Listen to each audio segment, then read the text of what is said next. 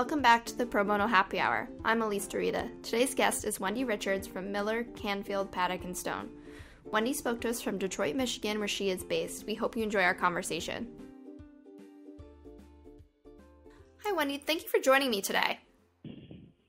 Oh, hi, Elise. Thank you very much. So, I'm going to just jump right in. Could you tell us what your early years were like and about your background? Uh, sure. I am uh, from the Detroit area. I grew up in a suburb outside of Detroit. Uh, my parents uh, were both public school teachers. So I grew up in a very um, socially minded uh, family. They are um, what I call reformed hippies.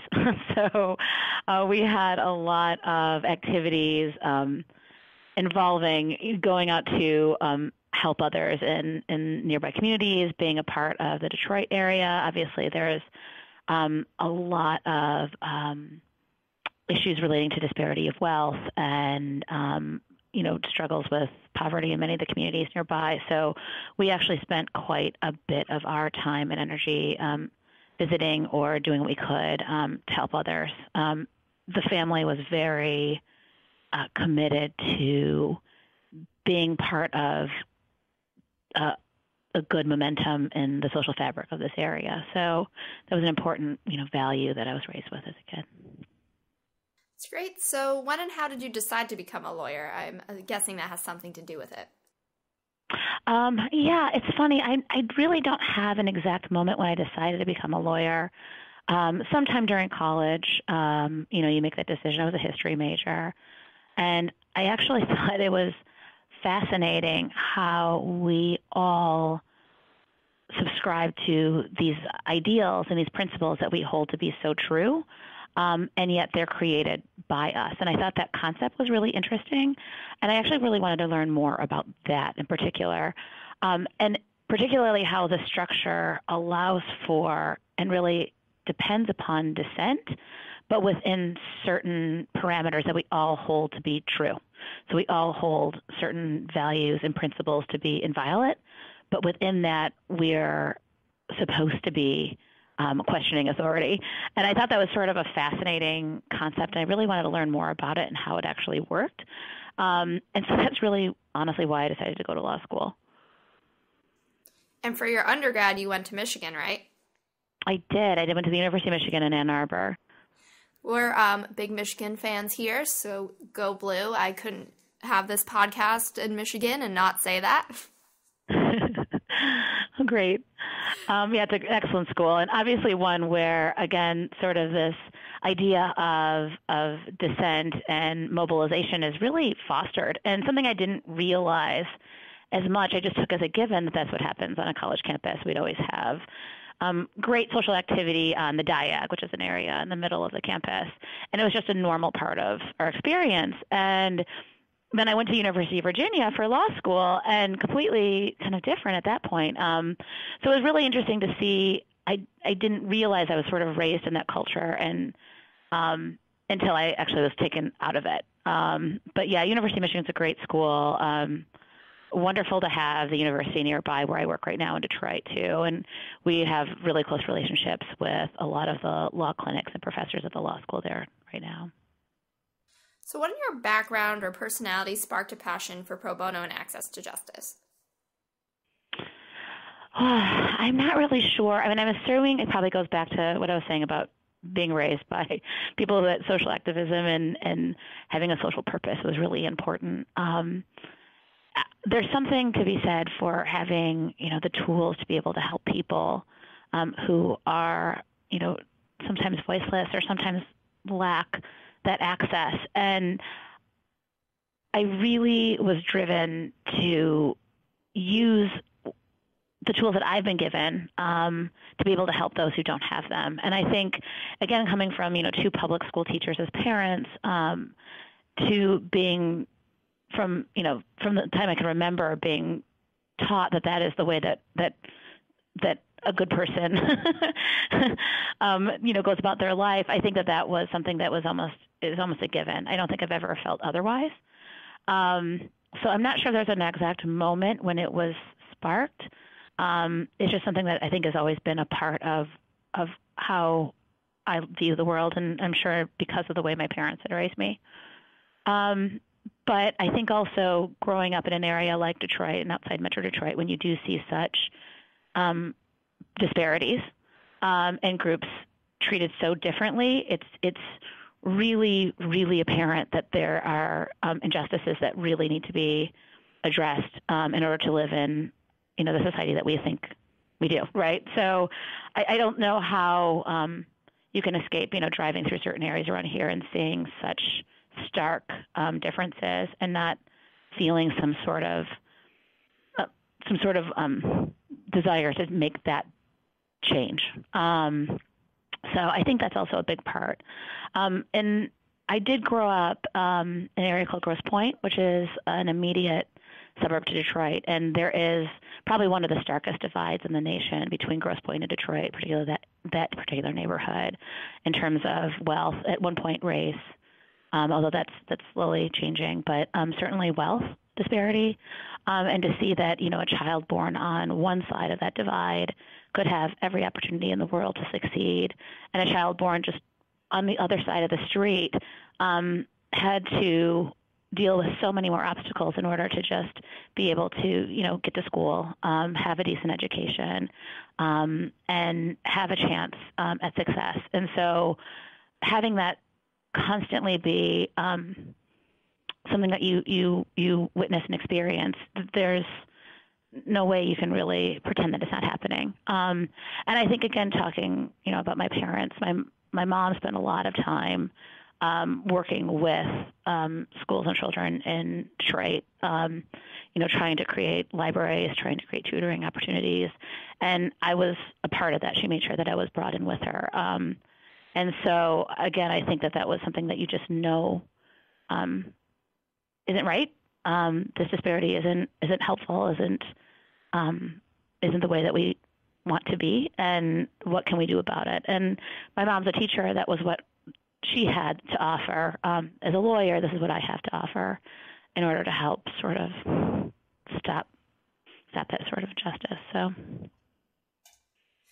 Definitely. So, how'd you get to Miller, Canfield, Paddock, and Stone? Sure. Um, so, I, I mentioned that I was at the University of Virginia for law school. Um, after I graduated from law school, I actually went out to Palo Alto and worked for Simpson Thacher and Bartlett and their um, relatively recently opened Palo Alto office then. Um, and while we were there, my husband is in grad school. He finished, and we were deciding whether we wanted to stay or come back home. And I've always been really passionate about the city of Detroit um, in general in this region and wanting to come back and do something. And um, we decided, you know, why don't we try looking in Detroit for jobs? So I interviewed um, at Miller Canfield and was really impressed with their um, commitment to this community. So Miller Canfield's the oldest law firm in Michigan deep, deep, deep roots in the city of Detroit. And it's also um, a firm that has a really strong public law department. So they, the firm really considers itself to be um, a, a, strong component of this area. Um, they're committed to, you know, good government and committed to the success of this region. And I found that really attractive. And at the time, the CEO um, who was in charge of the firm at the time was also a really strong proponent of the city of Detroit and uh, pro bono generally. And I also found that attractive as well. So I, I ended up taking a job here um, and left Palo Alto to, to come to Miller Canfield. I was here for about nine years as a commercial litigator and then decided to um, take some time to work for a nonprofit uh, the nonprofit focused on community economic development, which is a passion of mine, in underserved communities, mainly in the city, um, but throughout Michigan. And the job also uh, focused on transactional pro bono opportunities, which is something I'd never done before, but really wanted to be a part of. Um, so I ended up leaving Miller Canfield uh, and working for that nonprofit for a while. I ran their pro bono, um, their legal and policy programs and then ended up eventually becoming general counsel for the nonprofit. And I was there for three years. And that was a wonderful opportunity. I'm happy to talk about that some more. But the current CEO of our firm, um, Mike McGee, uh, asked me out to lunch and said, I've been hearing a lot about pro bono counsel as a role. And we are really interested in it, in whether you would be willing to take that on um, at the firm. And if you were, what would that look like? And why don't you send me a proposal? And so I put together a proposal as to what I thought a pro bono counsel should be, um, how they should integrate within the firm in various ways, you know, with professional development, business development, as well as obviously the, the pro bono, strictly pro bono aspect of it. And um, from my observations on the other side, working for a nonprofit that handled transactional pro bono and working through a national network of similar organizations, kind of seeing what worked and what didn't at other firms. And so I put together a proposal and um, didn't hear for a few months. I assumed that they decided not to not to take it on. And then he called me, I think it was in August of 2016, and asked if I wanted to come back to the firm and take on their role. So I did. Um, and it's been absolutely wonderful. I still um, love the nonprofit where I worked before, and we're very close with them. We work um, on several projects with them, and uh, really, really, they're great partners. But I was excited to have this opportunity to come back to a firm that I loved and that was aligned with my values and supported this role so um, completely that it's been it's been great. So we're going to talk a little bit about your role in a bit, but um, you mentioned Miller Canfield was the I think the oldest firm in Detroit. Could you tell us a little bit more about the firm? Sure, uh, absolutely. As I mentioned, um, obviously the oldest firm in Detroit and in Michigan, I believe, and I, I want to say we're one of the older law firms in the country, so we've been around for quite a while. Um, but we are focused in mainly in the Midwest. We have several offices in the state of Michigan, but we also have a strong and a kind of unique international presence. So we have affiliate offices in Windsor, Canada, um, Ontario, Canada, and uh, Mexico. But we also have three offices in Poland um, and an office in Shanghai. So that's definitely a unique attribute of the firm.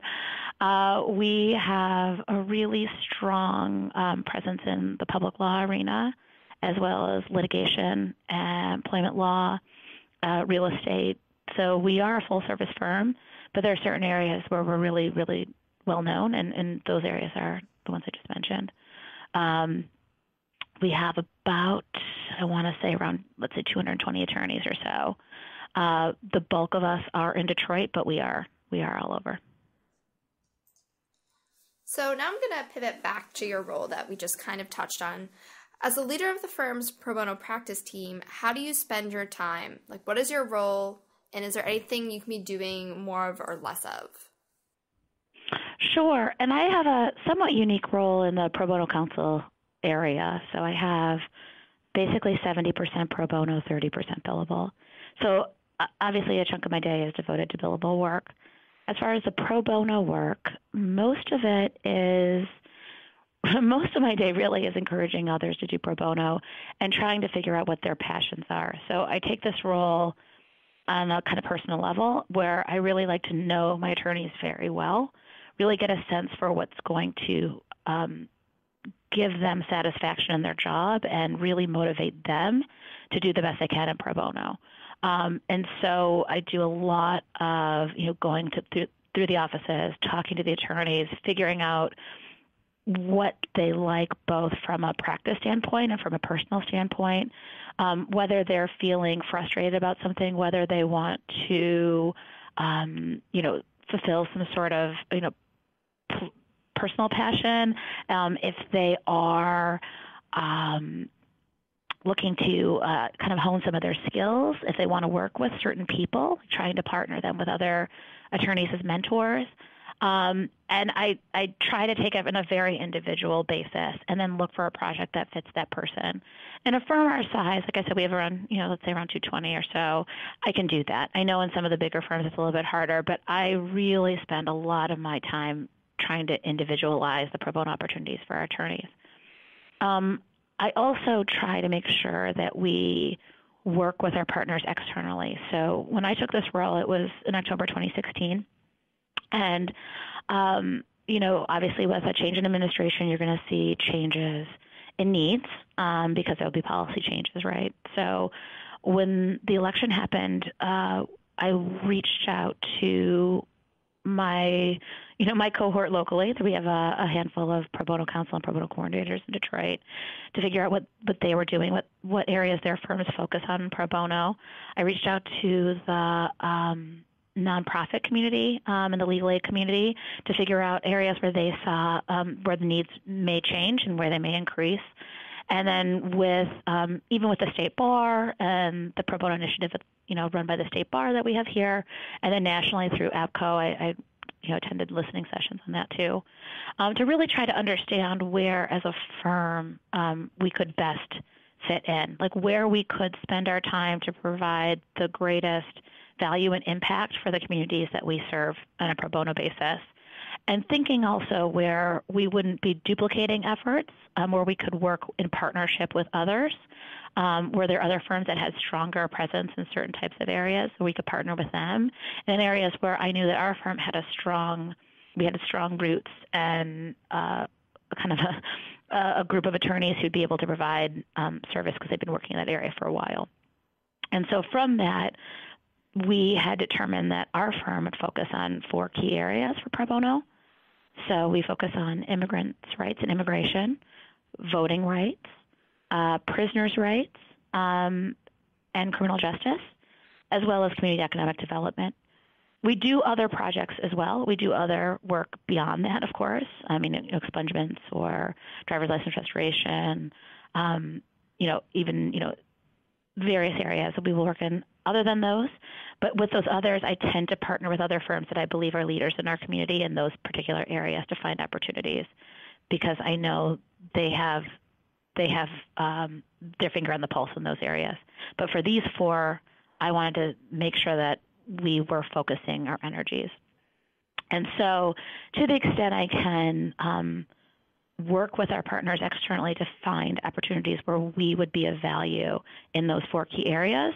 That's a big part of my my day too, and I that's a constantly evolving process. Obviously, things change so frequently, and so um, sometimes without any notice. That I try to make sure that we kind of stay on those um, topics, and that takes some time. And then working within those, trying to find opportunities where we can um, intersect with our with our talent here um, on the attorney side. And then again, of course, knowing where our attorneys are looking for opportunities to further their own careers or, or um, their passions, how I can make those work together. That's a big part of my day, actually. Um, beyond that, um, you know, making sure that I'm trying to be out of the firm, um, trying to make sure that I understand what's going on externally, to know if this is the wrong place for us, if we should be thinking about other ways where we could be providing greater value for our, the populations in need that we could serve. So I do spend a lot of time talking to our partners, um, trying my best to work with the national networks as well because they sometimes um, have new ideas or sometimes get information before I do, just given the markets. Um, but to think about ways I can integrate those opportunities with um, the lawyers in our firm that's a big part of my day. Um, I also, because I look at this role as pro bono counsel as being sort of multifaceted, particularly in a firm like ours, which is smaller, um, and the AmLaw 200, you know, a big part of my job is business development as well as professional development. So I try to work with our marketing and our professional development um, leaders as well as the firm leadership um, to understand from their perspective where they want to go and how we can integrate pro bono into their strategies as well. Um, and so, to the extent there are industries that they're looking to target, if there are clients that we'd want to strengthen or build relationships with, um, if there are skills that we think are lacking in our attorneys, um, or maybe skills that we'd like to encourage um, greater momentum or that type of thing, how I can find ways to integrate pro bono into those uh, objectives. And that's also obviously, you know, pretty time consuming part of my day, but I, I do love it. And I think of of pro bono if we want to continue um, with recognizing the importance of pro bono. I have to also understand that this is this is part of the strength and fabric of the firm as a whole. And so, um, looking as me being a partner, um, even for those people who may not necessarily have known pro bono well before, having to do some education um, or or kind of sort of an iterative process with them to understand that I am their partner too, and and that's that's actually been. Um, I feel like we're in a place that that's not that's a given at this point for sure. But you know, obviously having a new role as pro bono counsel and not having that before, there's a little bit of that, you know, catching up. But I do think that that the firm fully understands and, and the attorneys here fully understand that pro bono is is sort of hand in glove with um, with the success of the firm in general. So um, that takes up a big part of my day, on top of the, of course, the billable work, um, and and that's always that's always an important part as well. So, is there anything you wish you could be doing more or less of, or anything you found a challenge? Um, let me think. So, I I, I think with anything, I'm I'm sort of fascinated by legal ops in general, and and how law firms in this industry can be more efficient on the whole. Um, and you're looking at, you know, this is just a sea change right now and how law firms um, really tackle their work and I, I really would like to see that same initiative um, related to like efficiencies and process um, improvements, even in the pro bono world. And so, to the extent we can utilize technology or utilize some sort of shared process and, and goals to minimize the admin burden, um, I think is fantastic. And and taking that one step further, thinking about how we can also take that same drive and apply it to you know the access to justice um, arena. And I know that that's already going on, but to the extent that as a firm we can also be a part of it, where we can really um, scale up some of this work um, in a way where when we have repetitive um, tasks, we can make it so much easier um, for the attorneys uh, to be able to serve more people. Um, so that to me is something that I want you know, looking forward is something I want to focus on more and more, um, and kind of exploring new technologies and new ways that we can make that um, make that happen. So that's something I think you know no one no one really likes to deal with the admin burden, of course, and and to the extent we can utilize these tools, I think that's excellent. So that's something I want to look at going forward. Um, I don't know in terms of challenges. I mean, the one thing is I don't look at it as a challenge. I actually look at it. I mean, a challenge in an exciting way and in a fun way, of of of explaining to those who may not understand pro bono again or may not really recognize how um, important it is um, to really convert them. I don't know. So that to me is is is a fun challenge. I mean, to really to really have someone have that aha moment when they take on a pro bono matter and they really have that sort of deep, visceral, personal connection um, in a positive way um, with a client that they'd never experienced or hadn't in a while, and reminds them of you know why you went to law school, or reminds you reminds them of their sort of more human side, why we do this work and why we're here, um, and they become converts. And so that to me is a challenge, but in in the best possible sense. And so not that I would like to do less of it, I'd like to do more of it. But of course, I'd rather, you know, you're obviously in a better position when everyone is already on board. But, but those who were not believers in pro bono, who then become believers in pro bono, that's one of the most exciting, I guess, challenges of the job. Um, so actually, I do like it. So. So that is a great segue into my next next question. You mentioned you spend uh, part of your day motivating people. What have you found is the best way to incentivize lawyers at the firm to do pro bono? Well, we know we did some policy changes when, we, when I came in. So we did change our policy um, to allow for automatic 100 hours of pro bono to count towards billable in any evaluation year. And we have instituted a policy for uh, non principals where that 100 hours is, is sort of hidden in their reporting. So, you know, there was some some thought from the um, non-principals at one point, like, well, yes, you can say that, but somehow people are going to find out and they'll be dinged for it. And that's not the case. I mean, it really is rolled into their evaluation. So unless someone really were to spend a lot of time trying to figure it out, all they see is that being as part of their um, billable. Um, and I do think that changes quite a bit, obviously. Um, whether someone will be willing to take a pro bono project, you know, having it kind of billable as one incentive. Um, but to be perfectly honest, I find that that's not really what motivates people. I mean, it helps. It's one thing that certainly is, is useful. But I think the most important thing is really figuring out what the, what drives that person, um, what is going to make them satisfied and happy, and and understanding, you know, sometimes that's just getting in court. I mean, I have people who want to do pro bono because they know they can get in court, and that's what's going to motivate them. They'll work 300 hours because they they really want to be you know arguing they want a trial they you know they want to be in court and that's what motivates them.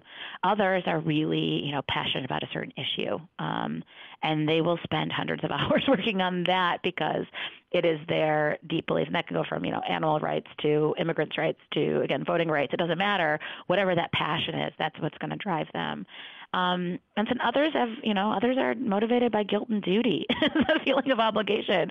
Um, and so trying to figure out how I can, you know, help them with that. Like I know I'm supposed to be doing 30 hours under the state bar pro bono standard. So what can I do to meet those numbers? Um, and helping them there.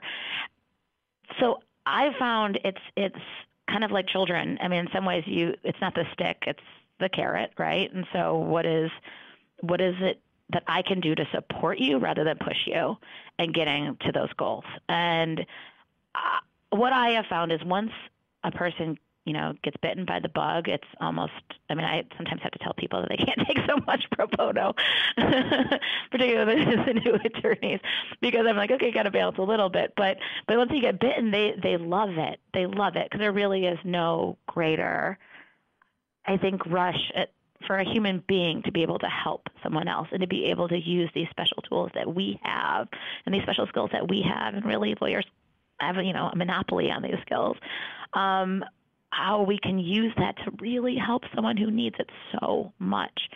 And i think once someone gets that bug they they don't stop. Um, so I, I don't know. There's a lot of um, aligning the work with individual passion and making sure that there is that human connection at some point because that is really there's nothing better. Um, and that's been really successful um, here at the firm. But again i know that i'm in a unique position in the M 200 given you know we are a little bit on the smaller side to be able to, to do that. But that's been honestly my my, my best tool. So that's it. So i'm going to circle back to Detroit. Could you tell sure. us a bit about the access to justice and pro bono community in Detroit? Because in some ways, the city has experienced a renaissance. How has the community and their legal needs kind of changed over time? well, it's interesting, and so I would say the it's experienced a renaissance in in a sense, and this goes back to what I was describing before. You know, I worked in community economic development for three years, and so, what has been wonderful is that there is positive momentum in many areas, in particular the neighborhoods, um, where community organizations have really driven some wonderful improvements um, in their communities.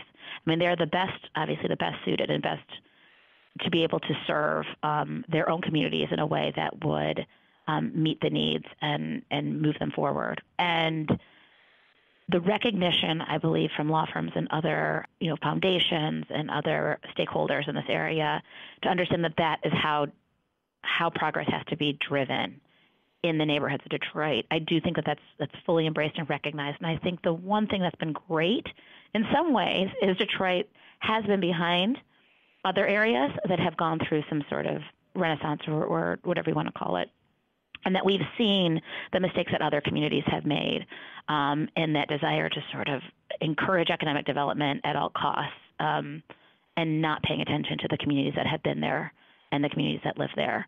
Um, I do think that we are very conscious here in Detroit of not replicating those mistakes and pushing against those forces in a way that we can work in partnership with economic development. I mean, everyone here understands that we need to improve the tax base. We need to improve the quality of life in many of the um, communities. Um, it's unacceptable in some ways of what has been going on around here, and, and, and human beings should not be treated and disregarded in the ways that they have been in the communities in Detroit in many ways. But but that this has to be something where the fabric of the community that already is there is a part of this equation. And so I do think that that's where Detroit is unique and exciting and a model for other cities. Um, and I think that we all understand that. Those of us in this world understand that. So I think, though, with that said, there is still so much to do. Um, now, you see a lot of the stories of the Renaissance of Detroit are focused on the developments that are happening in what we call the downtown and midtown areas, or um, you know university neighborhoods, where um, they're areas that are they're great. They're doing phenomenally well. I mean, in comparison, for sure, um, exciting, but they're not the neighborhoods. Um, and so to say, you know, that everything's hunky dory is definitely not the case. I mean, there's a lot going on in the neighborhoods that that isn't I want to say that they're ignored. That's wrong, but there's a lot more work that needs to be done, and there's a lot more we need to do to encourage um, equity and inclusion and uh, a more equitable renaissance, if you will, in, in areas outside of the core. And so that work continues. Um, but I do have faith that, in particular, in Detroit, given the bankruptcy that we went through and the partnership that the city of Detroit had had with foundations, um, we rec- recognize like the importance of philanthropy in this work, um, and the importance of you know public-private partnerships as well. And I think that we, the foundations, have definitely gotten behind the idea that this is something that can't be done, you know, parachuting in and um, you know a big development.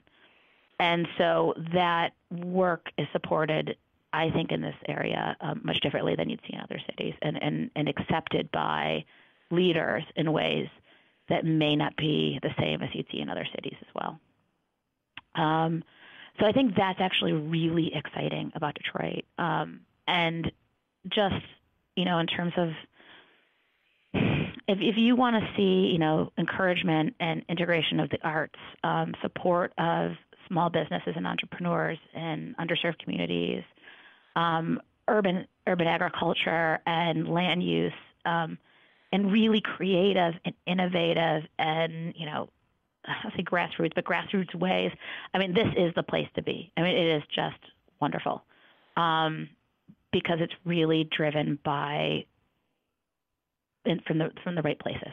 Um, in terms of access to justice, I mean, we have crippling poverty in the city and in areas around the city, in areas like Flint and, and Benton Harbor and even Pontiac and, and, and areas in Michigan that are are are are the, the areas that really really still need a lot of of assistance and help um, from the legal community. And and one thing, I mean, because the needs are so incredibly overwhelming, um, one thing that I think the state should and, and, and is trying to do is really thinking about, you know, really broader policy changes to make access to justice, um, again, more equitable. Um, there's only so much the legal, pro bono legal community can do, and we try. But really, these are systemic changes that need to happen. And I know that a lot of us on this side, on the access to justice, the pro bono side, are working to try to think about ways that we can streamline and make um, the processes smoother for those who in need. Um, and so it's using pro bono, but on a scale much grander than the individual case. Um, and and that's where I really think the change is going to happen in, around here because again the needs are so enormous, um, and there's only so much that pro bono can do. And so I'd like to see really more momentum there. It's already started. There's definitely initiatives going on, you know, both at the state bar level and and elsewhere that are moving towards that. But um, you know, we have a we have a really a, a new administration coming in um, in you know January. Um, we have some, you know, who knows what that will bring, but hopefully that'll also bring some, you know, further momentum and continuance of, of this of this path. Um, I think also what we're seeing is in in the giving levels, um, for some reason, and I don't know why, but Michigan is ranked, you know, 44th in in giving for for legal aid in the country, um, based on certain formulas. I'm sure you know you can slice and dice those numbers differently, but but generally accepted 44th in the country, and yet we are we're not 44th in the country in terms of you know generally how how where our, our lawyers stand income wise, and and the needs are so enormous here. And so we are going through um, a reorganization um, at the Michigan State Bar Foundation level. Um, they are really changing um, how they're going through their giving campaigns, and they've now moved to a centralized statewide campaign. Um, and uh, they are really pushing for in-house counsel to support, with the hopes that law firms also jump on board, of course um, and broadening the reach and making it easier for people to donate um, and to give to one source. Because before we had you know so many different organizations competing against the same dollars, and of course they're strapped as well. Um, they don't have they can't spend their time, you know, raising funds that they should be give, you know, spending that time obviously delivering services. So the State Bar is taking that on. State Bar Foundation is taking a lot of that work on now. And so the hope is that this new centralized campaign where people can give to the state bar, which then distributes the money based on formulas of, um, of populations in need and, and some other criteria, that that will actually help increase giving. And I, and I really hope that it's successful because this is a place where we really, really, really need it.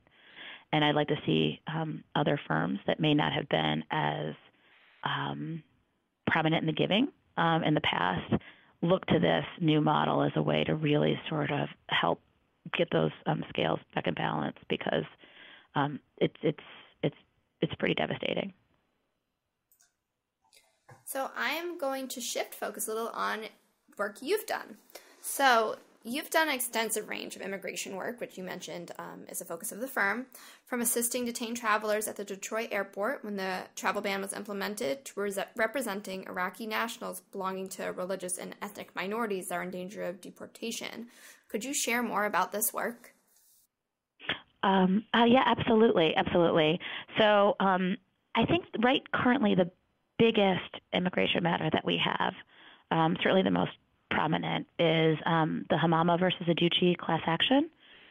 So in 2017, the um, in June of 2017, there was uh, a, roundup of um, hundreds of Iraqi nationals um, who were then put in detention and told that they were going to be put on planes and sent back to Iraq. And the reason why this was so um, unusual is that for many, many years, the government of Iraq had refused to take back most um, most um, Iraqi nationals who were to be deported. Uh, this goes back to the Saddam Hussein years. This was the policies that they really, with very few exceptions, would take back um, Iraqi nationals who were going to be um, deported from the U.S. And so instead, uh, those nationals would then um, operate under orders of supervision and check in with ICE um, regularly. Um, and this was going on for years and years. And so many of them had been in this country since they were small children. Um, they had been refugees themselves. Some had committed minor crimes, some not minor crimes, some had some sort of immigration violations. But for whatever reason, they had been, you know, ordered to be removed, but they were remaining in this country under orders of supervision. Some of them had been under of supervision for decades. So um, they had, you know, started families. They had opened businesses. They had been paying taxes. They had been following the laws, and were many times really, really, really beneficial members of our society. You know, from an objective standpoint. I mean, these were people who were part of our community for years and years and years. And then, almost out of nowhere, in June of 2017, they were rounded up. And in Michigan, there's actually a strong um, and large population of Chaldeans, um, which are um, Christian population from Iraq, um, persecuted. Um, quite frankly, there was a genocide in Iraq recently where huge villages basically gone. Um, and a lot of the Chaldean population in the Metro Detroit area, they're very active. And many of these individuals were then rounded up. And so we got a call um, to help at that point was a TRO. Help with the TRO to see if we could stay the deportations just to, you know to allow those who are detained the opportunity to get to immigration court and let you know show that the changed country conditions in Iraq for this community was so great that that to send them back would be in violation of of of, of the law. Um, that they would be facing such extreme persecution, potential for torture, even death, that this is this is unconscionable. It could not happen. Um, and they just needed the opportunity to be able to do that. And remember, because they had been operating before under orders of supervision, they didn't have to go through those steps in the past because they were allowed to live here anyway. But now that, again, without warning, basically taken, they had to be able to show that that they could not go back. And that was what our objective was. And that was a TRO. And it was granted. So that was great. Um, and then um, we found that it's not just Detroit, obviously, it's, it's around the country this is going on. So we went to the court and asked to expand this uh, nationwide. We had a preliminary injunction and then expand that nationwide, and which was granted. So nationwide, there was a stay to allow the class members, at that point putative class members, but now class members, the opportunity to be able to go to the immigration court and argue that the change country conditions were such that they would be they would be under extreme danger if they were sent back.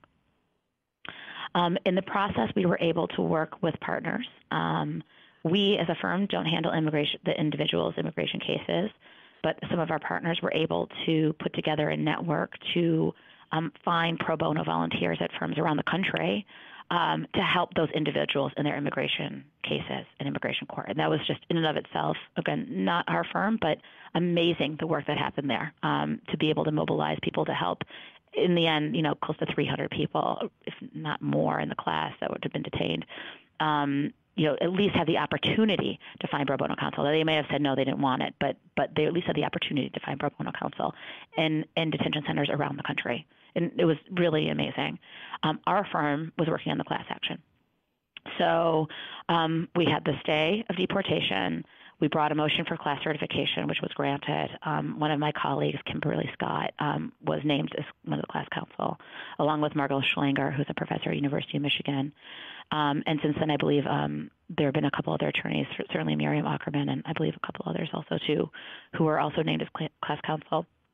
But um, we took over that work um, and then brought a motion for preliminary injunction in order to allow those who had been detained the opportunity to be released on bond. If they could, you know, to be able to have at least that opportunity to be released on bond, they shouldn't be detained um, while this is going on. And um, we were successful in that as well. Um, they have the government would have to show that they were a danger or flight risk if they had been in detention for a certain amount of time, um, and could be released on bond if, if or, or on their own recognizance if they were not either of those. So that actually, I mean, quite frankly, the stay is enormous, obviously, but you could imagine the emotional toll that happens.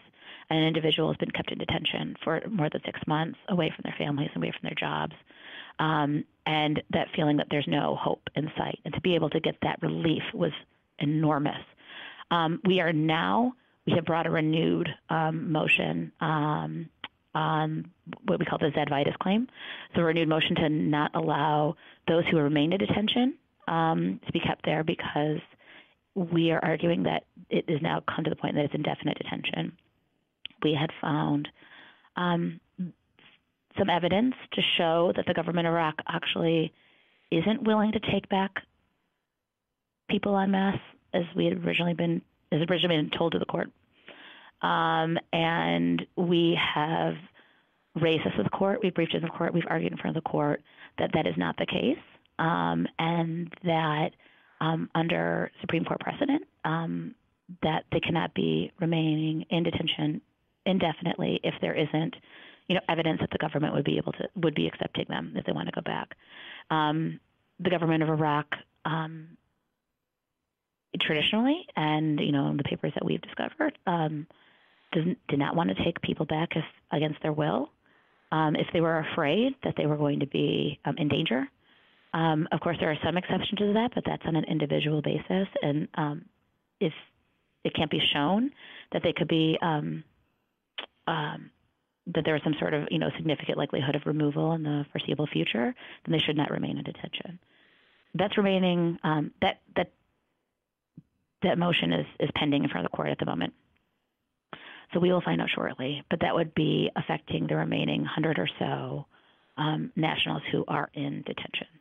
Um, of course, there are always exceptions. You know, if you're national security risk and others, I mean, you wouldn't be released, but but to the extent that you're own, you're being held um, under this assumption that there's a likelihood you'll be um, removed in the reasonably foreseeable future, and there's not um, a likelihood, then then therefore they should be released. So um, that's now pending, and that's been a case where it's been an incredible experience because we've worked with such a broad um, range of partners on that. Um, as I mentioned, we're working with Margot Schlanger, a professor at University of Michigan Law School, um, also with ACLU of Michigan, and Miriam Aukerman's leading that. Um, who's just an amazing, amazing person. It's been wonderful to work with her, and a brilliant writer, um, as well as the ACLU Immigrants' Rights Project out of New York City. Um, interestingly, we're working with two attorneys, Lee Gelernt and Judy Rabinowitz, who um, were two attorneys that I worked for when I was in law school. so I had an internship with them um, as a summer, you know, for for the summer, and and 20 years later, we're, I'm working with them again, which is is kind of interesting. Um, and um, and some other local partners, Michigan Immigrant Rights um, Center, um, as well as Code Legal, which is um, was been was really helpful in the initial days, in particular, of um, reaching out to the families of those who were detained and getting a sense of what was going on because it was a little bit you can imagine like an emergency situation and they had deep roots in the Chaldean community in particular and being able to access um, their networks and understand what was happening on the ground was was critical. And so the teamwork that involved in this project has just been um, really, um, I would say, eye-opening, but really um, rewarding. And the work product, I think, that comes out of it because of so many different perspectives coming together um, has been phenomenal. So I would say that's been the highlight of my legal career so far as being a part of that case, um, and in particular because we have been able to be um, to provide success for those class members who who have been you know able to get relief in the immigration courts or at least get their um, cases in process to be you know through the process to be heard, um, as well as those class members who have been released, and hopefully those remaining class members who will be released. Um, so so that's been um, been amazing. That's some amazing collaborative work, and we can't wait to hear what happens uh, with the pending part of the case. So, recently we had leaders from the Lawyers Committee for Civil Rights Under Law on the podcast talk about election protection in advance of the midterms. You're also very involved in this work by helping create a poll workers guide and co-chairing APBCo's Voting Rights Task Force. So, how did these experiences influence how you spent your election day this year? Uh, that's a great question. Um, yeah, we were really lucky to be able to work with the Lawyers Committee and um, Brennan Center as well on the poll worker project. Um, I could talk a little bit about that. Um, that was a collaboration um, between about a dozen law firms around the country to create uh, poll worker guides with the intent of encouraging uh, lawyers and law students to become poll workers because in Brennan Center and Lawyers Committee's research, one of the biggest obstacles to the to the right to vote in some ways is is at, at the poll worker level. I mean, you really need to have qualified poll workers who are able to stand up to um, those who are trying to suppress, um, to be able to understand the rules really well, um, be adept at technology, um, be able to troubleshoot um, in ways that make the process very easy and smooth for everyone involved. Um, and that sort of that voter-centric approach to the, the poll worker community was something that we wanted to encourage. And we thought that lawyers and even law students in particular would be great candidates for that. And so with that coalition, we put together um, materials to really to really explain how to do it, why you would want to do it, and some of the key issues that you'd be thinking about. Now, there's great training in every state, you know, as to, to what you need to do if you're a poll worker, of course. But this was to give, you know, a kind of an understanding of of of some of the some of the issues that you'd be facing. And um, we had, I believe, we've uh, released about 14 of those so far. Um, the rest um, are in process, um, and we're hoping to be rolling those out um, obviously, certainly before 2020, but on an ongoing basis, you know, after the election. That took up a lot of time, obviously, but, but we'll be rolling those out right after. And um, we also actually ended up working with um, Lawyers for Good Government, who was nice enough to um, promote these products with their great network. Um, because again, that's a target audience for us is to find volunteers in their network who'd want to be able to volunteer for the poll workers um, to be a poll worker. So um, that's a continuing process, and again, we'll we'll be rolling that out, you know, for the, over the next two years, um, as well as um, trying to track some of the data as to who is accessing the guides, who decided to become a poll worker because they saw the guides, and figure out those communities where um, poll workers are needed more. Um, and so this is going to be really exciting, and I think a great place to be watching um, for the next couple of years. Um, through that work, though, and I wasn't familiar actually with election protection. Um, and I'm embarrassed to say that I mean I knew about the party challengers quite a bit, um, and I was familiar with the work um, on that end. Um, but since I stepped back into this role as pro bono counsel and working so closely with um, lawyers committee, I really have a much better sense, obviously, of the election protection um, work that happens, you know, around the country. Um, our firm um, decided that our best use um, of time, I guess, the most value that we could provide, um, would be actually being field workers.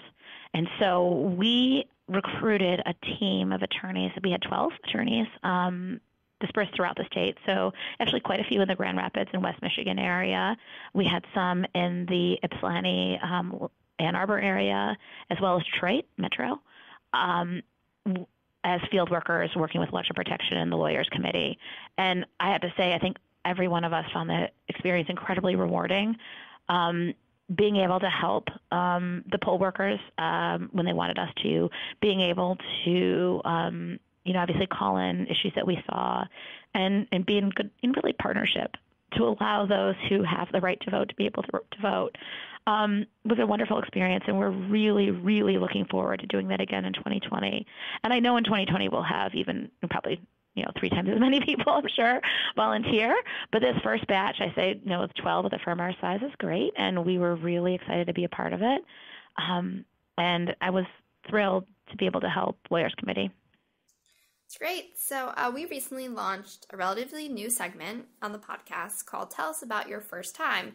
Could you tell us about uh, your first or one of the early pro bono matters that you've handled? Uh, sure. So, uh, earlier I said that I worked for Simpson Thacher and Bartlett in Palo Alto. Um, which actually is a great office for pro bono in general and really supportive of pro bono work. And it was an a, a wonderful place to cut my teeth and practicing the law with a community of attorneys that really encourage pro bono work. Um, one of the most memorable early cases that I had was uh, a Ninth Circuit appeal.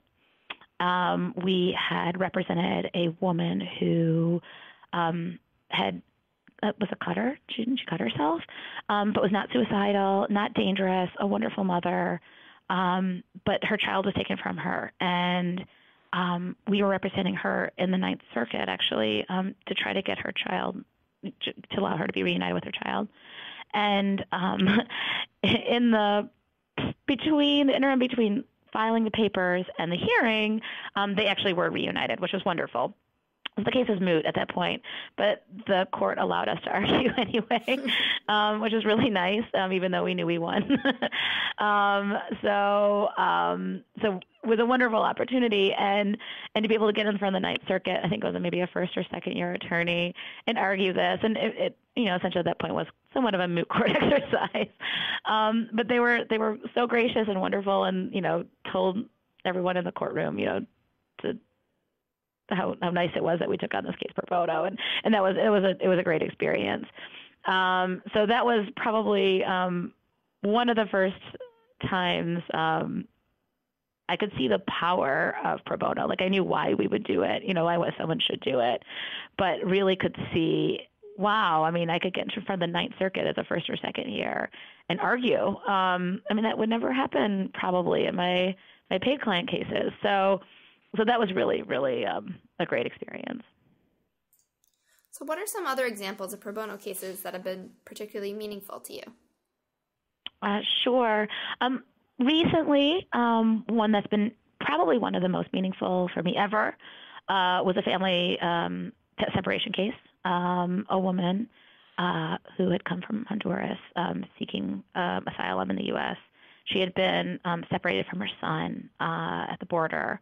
And this was in the early stages. We were in the earlier people to take one of these cases on. And so, um, working um, remotely, we were able to um, have her released on bond. At that point, we still had to, they still had to be released on bond. So we helped her with the remote bond hearing, um, and then working to try to locate her son. She didn't know she didn't know where he was, and and working to try to reunite them. Um, it was uh, incredibly emotional. Um, definitely one of the most valuable experiences I think as a pro bono attorney I've ever had. Um, and um, one of those moments again where you really are reminded of why we do this work and the real human um, impact that this work can have. Um, and I know that there are so many people working in that area, and so many people are doing it at such broader, larger scale. But that individual case was just um, incredibly emotionally impactful for me. And even just talking about it and thinking about it is a lot. Um, my son, um, I have an 11 year old son, and he was close in age to the son of, of our client. And and to be able to see the pictures of the two of them together and to think about what they had gone through, you know, in their trek up here and then being separated after that and and what how he must have been feeling and I know how she was feeling and and knowing um that they were able to you know come back together was is was powerful. That's an inspiring and amazing story and case to work on. So, what is on the horizon for the pro bono program? Do you have anything new in the works? well, I don't have anything new in the works at the moment. Um, I think at this point, I really want to look at, um, you know, a self-assessment um, from our, my attorneys and get an idea of where they want to see the firm continue. Um, I am once again sort of interested in in, in the community economic development work uh, in Detroit and thinking about more work we could do in that arena. Um, I'm also interested in doing more work with the LGBTQ plus community. Um, and while we have had partnerships um, in the past, I, would like to see more um, what more we can do because I'd, I'd, like to get more involved there. Um, we've we've handled name changes, but but that's been pretty much it. And I think there's more we can do. Um, I also would want to see. Um, I'm just thinking out loud, but just thinking in terms of um, the hate crime arena and trying to explore ways that we can somehow protect vulnerable communities in a way where we can be effective. Um, and and sometimes you know some of that is education, um, some of that is outreach, and and depending on how we can figure out ways that we could take on you know individual cases, but uh, I'd like to see ways that we can train even clients on how to handle situations in a crisis, how to institute you know policies that would be um, that minimize threats and um, protect the rights of those most vulnerable. Um, but I'm not really sure um, what that would look like exactly. But I do think that that's an area where we should be all thinking, given some of the rise that we're seeing and and and really quite scary um, actions. Um, what can we do to uh, minimize that threat in a way that's um, that can work with pro bono? So, if you had a magic wand, what is one thing you would change about law firm pro bono or access to justice? I think if I had a magic wand for access to justice in particular, I do think it's these broader systemic um, portals, I guess, changes in the in the, the way that people can enter the system. Um, I do think that you see some exciting changes happening in the self help arena and in making processes more efficient. Um, but I think that that's an area that really needs to be developed more and more. There's no reason on certain aspects of um, ways that we interface with the courts that it has to have this kind of monopoly on, on legal services coming from the law, like the legal community. I think that there needs to be easier mechanisms for basic needs to be met um, on a legal service side um, through self-help or through um, guided assistance that's not terribly time consuming on the lawyer end that can really help those who, who need it most. I mean, obviously, you know, fines and fees are another area where you wouldn't want to see crippling fines and fees that really destroy someone's life. Um, and in ways that we could kind of streamline that and make it easier for those most in need not to be saddled by that burden um, that they can never get out from under. Um, and I don't, I'd like to see that more and more. And that's not really from the law firm side. Um, that's really, you know, broader changes that need to be made. But I do think that that would have a big impact on access to justice generally. On the pro bono side, I think I'd like um, more and more, and I do think this is happening anyway, but more and more for attorneys to understand that um, pro bono is um, a gift. It's definitely not a burden. It's a gift. It's a gift that we have, um, and a tool that we can use, and a way that we can fulfill, um, again, those reasons for why we decided to become attorneys in the first place. Um, this is something that reminds us of why we're human and why we're here. and people who take on pro bono do understand that, and the more and more we have people involved, I think that um, that will naturally occur. But that would be something that I'd, I'd want to see continue. So, for my final question, who is your pro bono role model or access to justice role model and why? You can pick more than one because I know it's hard to pick between your favorite children. That's true. Um, I, would say, you know, honestly, Margo Schlanger and Mary Aukerman, who were the two attorneys I mentioned working on the Hamama case, um, seeing them in action has been awe-inspiring. I, I can't describe.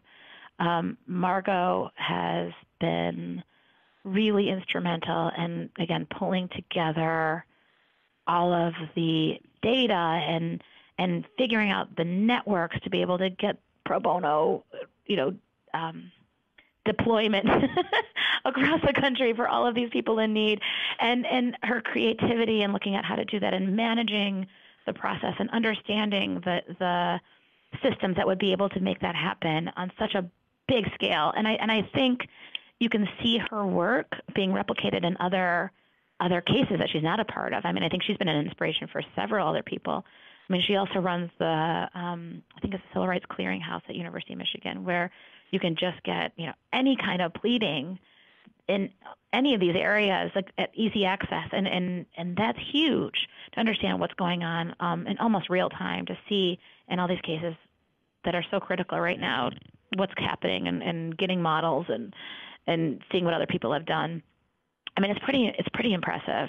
Um, and I don't I she does this while also you know working on briefs and and and arguing and and teaching and you know being a mom and you know like she's, she's all this stuff going on as well so that's really really just been inspirational um and and she's brilliant um and Miriam Aukerman um over at the ACLU of Michigan I really have never met someone like her before um and I'm honored and privileged to have known her um because she's just a beautiful writer who really understands why we're doing this work and how to communicate it. And that's such an important skill because, you know, obviously lawyers, we, we write in a certain way, we think in a certain way, and she understands that telling the story in an effective and impactful way is is so critical to being successful.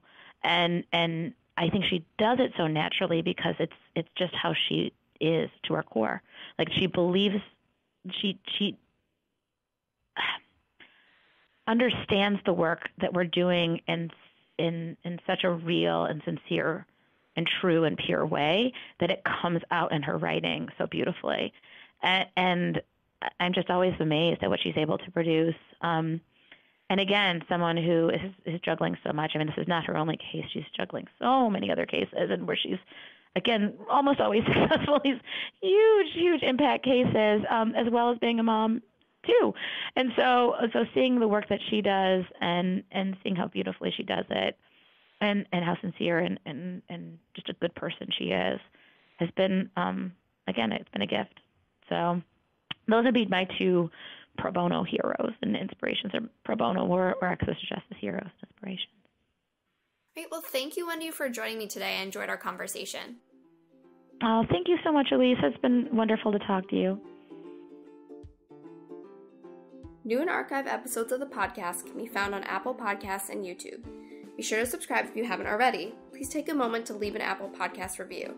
It's quick and easy to do. We'd appreciate the feedback and would help make it easier for other listeners to find the show and expand the conversation about pro bono and access to justice. We'd love to hear from you. Send your comments, feedback, and questions to pro bono at probonoinst.org.